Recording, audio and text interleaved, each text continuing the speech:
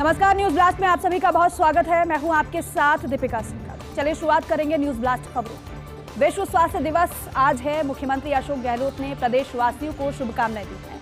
अपने शुभकामना संदेश में मुख्यमंत्री गहलोत ने कहा है, चिकित्सा के क्षेत्र में मॉडल स्टेट राजस्थान बना है। अब राजस्थान में लागू हुआ स्वास्थ्य का कानूनी अधिक, अधिकार। प्रदेशवासियों को निशुल्क स्वास्थ्य योजनाओं की कानूनी गारंटी मिली है। चिरंजीवी स्वास्थ्य बीमा योजना में 25 लाख रुपए तक निशुल्क इलाज है। निशुल्क दवा एवं जाँच योजना निरोगी राजस्थान अभियान है। कोविड के बेहतरीन प्रबंधन सहित गाँव ढाणी तक मज़बूत चिकित्सा सुविधा है। अब देश भर में राइट टू हेल्थ कानून लागू करने वाला पहला राज्य है। ये एक प्रगतिशील कानून है जो संविधान के अनुच्छेद सैतालीस और अनुच्छेद 21 के अनुरूप स्वास्थ्य के अधिकार की गारंटी देता है। अब अपेक्षा है कि देश में हर नागरिक को स्वास्थ्य का अधिकार मिले। तो विश्व स्वास्थ्य दिवस पर मुख्यमंत्री अशोक गहलोत ने यह संदेश दिया है और बताया है कि राजस्थान पहला ऐसा राज्य है जहाँ पर स्वास्थ्य का कानूनी अधिकार लोगों को मिल रहा है। प्रदेशवासियों को मुख्यमंत्री ने सबसे पहले शुभकामनाएँ दी विश्व स्वास्थ्य दिवस की और उसके बाद अपने संदेश में कहा है, लिखा है, निशुल्क स्वास्थ्य गारंटी योजनाओं की गारंटी कानूनी मिल रही है। चिरंजीवी योजना स्वास्थ्य बीमा योजना में 25 लाख रुपए तक निशुल्क इलाज मिल रहा है। राज्यवासियों को निशुल्क दवा एवं जाँच योजना निरोगी राजस्थान अभियान चलाया जा रहा है। कोविड के बेहतरीन प्रबंधन सहित गाँव ढाणी तक मज़बूत चिकित्सा सुविधा। अब देश भर में राइट टू हेल्थ कानून लागू करने वाला पहला राज्य है राजस्थान। ये एक प्रगतिशील कानून है जो संविधान के अनुच्छेद सैतालीस और अनुच्छेद 21 के अनुरूप स्वास्थ्य के अधिकार की गारंटी देता है। अब अपेक्षा यह है कि देश में हर नागरिक को स्वास्थ्य का अधिकार मिले। हाथ से निकला बेटा। पूर्व रक्षा मंत्री ए के एंटनी का बेटा अनिल भाजपा में शामिल हो गया। केंद्रीय मंत्री पीयूष गोयल की मौजूदगी में बीजेपी उन्होंने ज्वाइन की। अनिल के बीजेपी में शामिल होने पर पिता ए के एंटनी ने कहा है, अनिल ने अनिल के भाजपा में शामिल होने के फैसले ने मुझे हर्ज किया है। ये बहुत ही गलत फैसला है। भारत का आधार, एकता धार्मिक सद्भाव है। 2014 में मोदी सरकार जब सत्ता में आई, तब से धर्मनिरपेक्षता को कमज़ोर कर रही है। मैं मरते दम तक कांग्रेस में रहूँगा, ये उनकी तरफ़ से कहा गया है। जनवरी में केरल कांग्रेस के सोशल मीडिया कोऑर्डिनेटर पद से इस्तीफा दिया था। पीएम मोदी पर, बीबीसी की डॉक्यूमेंट्री पर अनिल ने मोदी के सपोर्ट में ट्वीट किया था।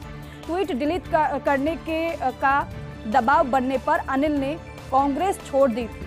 तो आपको याद होगा, बीबीसी विवाद पूरे देश भर में ये भाजपा की तरफ़ से प्रदर्शन भी किया गया था, लेकिन ऐसे समय में जहाँ एक तरफ़ विपक्षी पार्टियों की तरफ़ से सवाल उठाए जा रहे थे, वहीं दूसरी तरफ़ अनिल एंटनी ने भाजपा का समर्थन किया था, प्रधानमंत्री नरेंद्र मोदी का समर्थन किया था, और उसके बाद ये कयास लगाए जा रहे थे कि संभवतः ऐसा फैसला लिया जा सकता है उनकी तरफ़ से। कल उन्होंने भाजपा का दामन थाम दिया लेकिन ए के एंटनी ने कहा है कि बेटा भाजपा में शामिल हुआ है, इससे मैं हर्ट हुआ। अनिल के बीजेपी में शामिल होने पर ए के एंटनी ने अपनी प्रतिक्रिया दी। अनिल के भाजपा में शामिल होने के फैसले ने मुझे हर्ट किया है, उन्होंने ये कहा। ये बहुत ही गलत फैसला है। भारत का आधार एकता धार्मिक सद्भाव है। 2014 में मोदी सरकार जब सत्ता में आई, तब से धर्म निरपेक्षता को कमज़ोर कर रही है। मैं मरते दम तक कांग्रेस में रहूँगा, ए के एंटनी की तरफ़ से ये कहा गया है। साथ ही कहा है, आपको बता दें कि जनवरी में केरल कांग्रेस के सोशल मीडिया कोऑर्डिनेटर पद से इस्तीफा दिया गया था। पीएम मोदी पर बीबीसी की डॉक्यूमेंट्री पर अनिल ने मोदी के सपोर्ट में ट्वीट किया था। ट्वीट डिलीट करने का दबाव बनने पर अनिल ने कांग्रेस ही छोड़ दी थी। और देखिए सेवा भारती का जयपुर में राष्ट्रीय सेवा संगम है। जामडोली केशव विद्यापीठ में आयोजित हो रहा है सेवा संगम। संघ के सर संघचालक डॉक्टर मोहन राव भागवत ने शुभारंभ किया है। आरएसएस के सर कार्यवाह दत्तात्रेय होसबोले समेत संघ पदाधिकारी इस कार्यक्रम में मौजूद हैं। बीजेपी प्रदेशाध्यक्ष सीपी जोशी, नेता प्रतिपक्ष राजेंद्र राठौड़ उपनेता प्रतिपक्ष डॉक्टर सतीश पूनिया, सांसद दिया कुमारी भी इस संगम में मौजूद हैं। और आपको बता दें कि राष्ट्रीय सेवा संगम का हर पाँच साल में आयोजन होता है।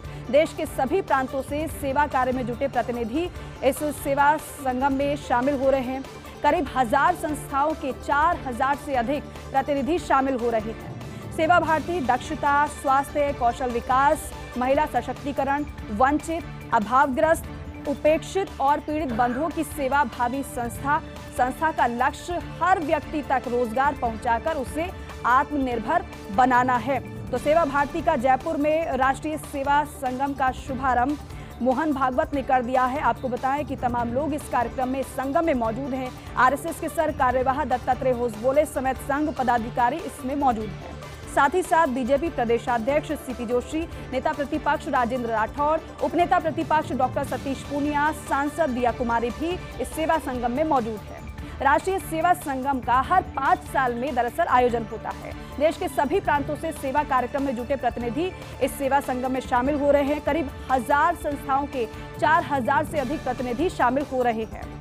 सेवा भारती दक्षता, स्वास्थ्य, कौशल विकास, महिला सशक्तिकरण, वंचित, अभावग्रस्त, उपेक्षित और पीड़ित बंधुओं की सेवा भावी संस्था है ये। और संस्था का लक्ष्य हर व्यक्ति तक रोज़गार पहुंचाकर उसे आत्मनिर्भर बनाना है। कांग्रेस अध्यक्ष खड़गे से मिले नवजोत सिंह सिद्धू। मल्लिकार्जुन खड़गे से मुलाकात कर उनका आशीर्वाद लिया है नवजोत सिंह सिद्धू ने, जो कि हाल ही में जेल से छूटे हैं। कांग्रेस नेता नवजोत सिंह सिद्धू ने खड़गे की तारीफ़ करते हुए लिखा भी है। लिखा क्या है? आपको बताएँ कि नौ बार के विधायक, तीन बार सांसद, वंचितों के लिए चैंपियन, सच्चाई की आवाज़, विश्वसनीयता, जिनका नाम मल्लिकार्जुन खड़गे। वरिष्ठ कांग्रेस नेता जयराम रमेश भी इस मुलाकात के दौरान मौजूद रहे हैं और मुलाकात के साथ साथ नवजोत सिंह सिद्धू ने तारीफ़ भी मल्लिकार्जुन खड़गे की की है। मल्लिकार्जुन खड़गे का न केवल उन्होंने आशीर्वाद लिया है, बल्कि यहाँ पर उनके बारे में तारीफ़ करते हुए नवजोत सिंह सिद्धू नज़र आए हैं। उन्होंने लिखा है कि नौ बार के विधायक, तीन बार के सांसद वंचितों के लिए चैंपियन, सच्चाई की आवाज़, विश्वसनीयता, जिनका नाम मल्लिकार्जुन खड़गे। ये तारीफ़ में शब्द लिखे गए हैं नवजोत सिंह सिद्धू की तरफ़ से। आपको बताएँ, ये जो मुलाकात रही है, वरिष्ठ कांग्रेस नेता जयराम रमेश भी इस मुलाकात के दौरान मौजूद रहे। हैं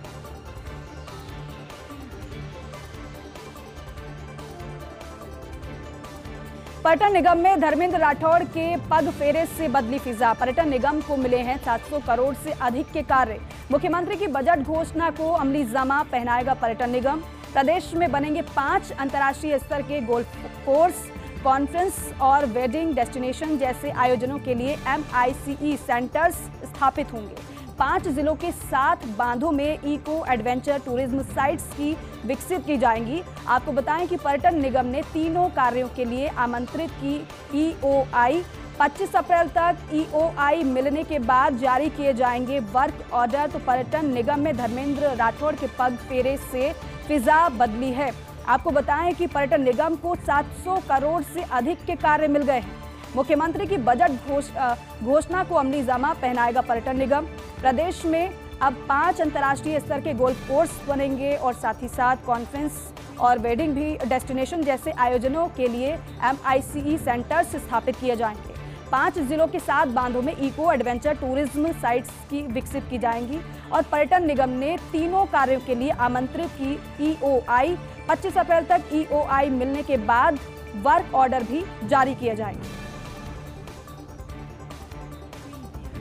आईओसीएल पर इस साल मंडरा सकता है नेतृत्व संकट। जी हाँ, संगठन में बोर्ड स्तर के तीन पद खाली हैं। निदेशक फाइनेंस का पद पहले से रिक्त है।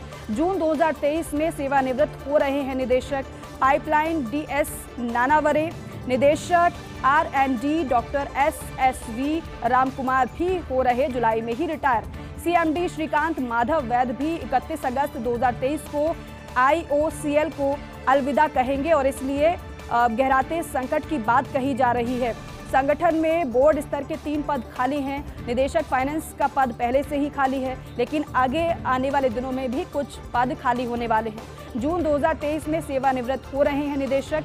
पाइपलाइन डीएस नानावरे, आपको बताएँ कि निदेशक R N D doctor S S V Ramkumar भी हो रहे हैं। जुलाई में ही रिटायर।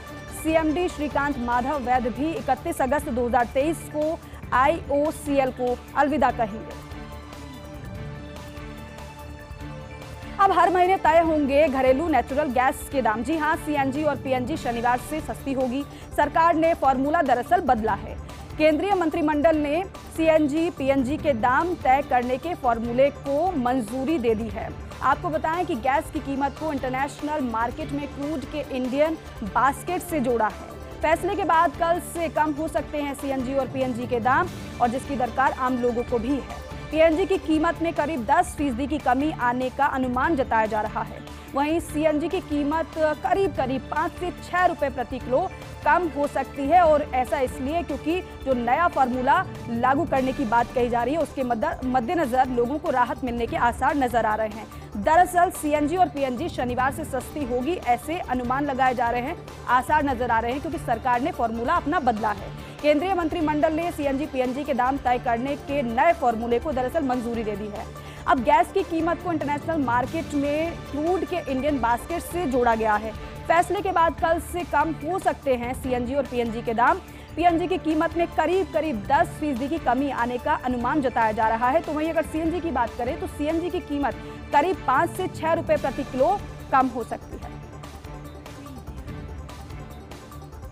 आगे बढ़ेंगे। शिक्षक भर्ती पेपर लीक का मास्टरमाइंड पुलिस के शिकंजे में है। सारण को पेपर बेचने वाला शिक्षक अनिल उर्फ़ शेर सिंह मीणा गिरफ़्तार किया गया है। एसओजी आज शेर सिंह को उदयपुर कोर्ट में पेश कर रिमांड पर लेगी। शेर सिंह को लेकर एसओजी की टीम जयपुर से उदयपुर के लिए रवाना। कल देर शाम शेर सिंह को दिल्ली से जयपुर लेकर एसओजी की टीम पहुँची। कालाहांडी से 40 किलोमीटर दूर भवानी पटनम के एक गाँव से उसे दबोचा गया है। एक निर्माणाधीन सरकारी बिल्डिंग में मजदूरी का वो काम कर रहा था। बढ़ी हुई दाढ़ी, मैले कपड़ों में शेर सिंह को पहचानने में चार घंटे लग गए। शेर सिंह मीणा ने दिल्ली, पंजाब, हरियाणा उज्जैन में भी फरारी काटी है।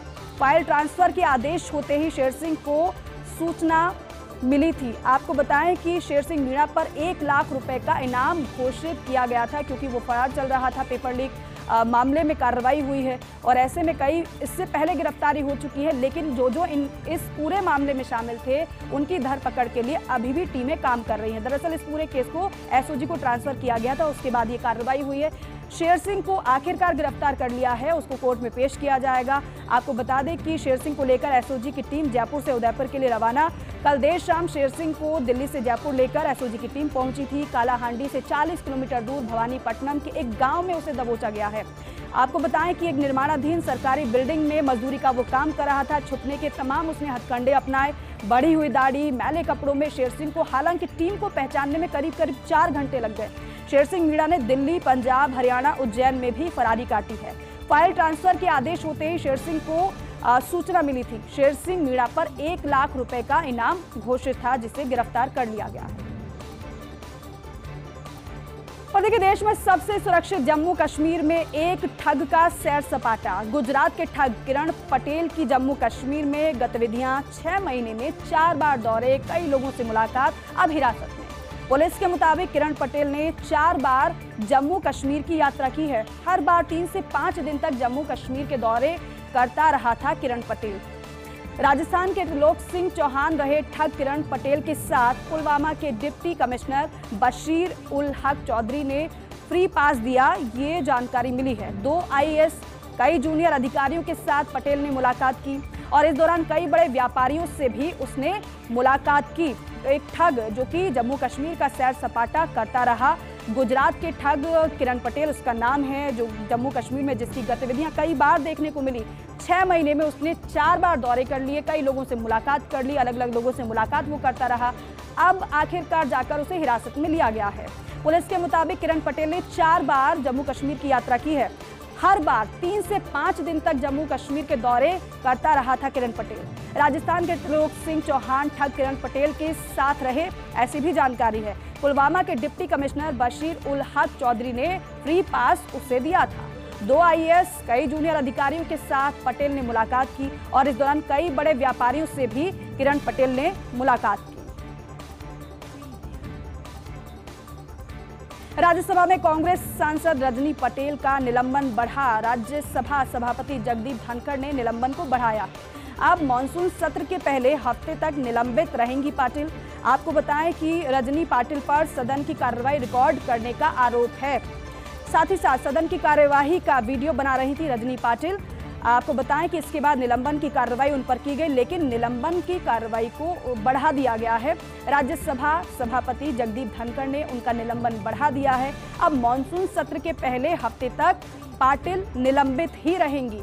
रजनी पाटिल पर दरअसल सदन की कार्यवाही रिकॉर्ड करने का आरोप है और सदन की कार्यवाही का वीडियो रजनी पाटिल बना रही थी। इसके मद्देनजर उनको निलंबित किया गया। अब उनके निलंबन को आगे बढ़ा दिया गया है। मुख्यमंत्री अशोक गहलोत का संवेदनशील फैसला, प्रशासन शहरों के संग अभियान में रियायत अब 30 सितंबर तक। स्टाम्प शुल्क फ्री होल्ड पट्टे, ब्याज दरों में रियायत की मियाद को बढ़ाया गया है। लीज मुक्ति प्रमाण पत्र हेतु शेष लीज राशि जमा कराने की भी छूट दी गई है। कृषि भूमि पर बने आवासीय भूखंडों को फ्री होल्ड पट्टे जारी किए जाएँगे। अभियान के कार्यों में सुगमता आएगी, आमजन को राहत मिलेगी इससे। 10 साल की लीज राशि एक मुश्त जमा कराने पर फ्री होल्ड पट्टे 300 वर्ग मीटर तक के आवासीय भूखंडों के लिए पट्टे मिलेंगे।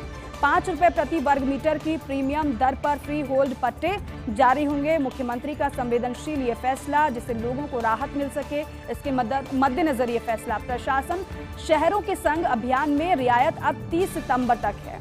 दरअसल स्टाम्प शुल्क फ्री होल्ड पट्टे ब्याज दरों में रियायत की म्याद को बढ़ा दिया गया है। लीज मुक्ति प्रमाण पत्र हेतु शेष लीज राशि जमा कराने की भी छूट मिली है। साथ ही साथ कृषि भूमि पर बने आवासीय भूखंडों को फ्री होल्ड पट्टे जारी किए जाएँगे। अभियान के कार्यों में सुगमता आएगी, आमजन को राहत मिलेगी। इससे 10 साल की लीज राशि एक मुश्त जमा कराने पर फ्री होल्ड पट्टे मिलेंगे। 300 वर्ग मीटर तक के आवासीय भूखंडों के लिए पट्टे मिलेंगे। पाँच रुपए प्रति वर्ग मीटर की प्रीमियम दर पर फ्री होल्ड पट्टे जारी होंगे।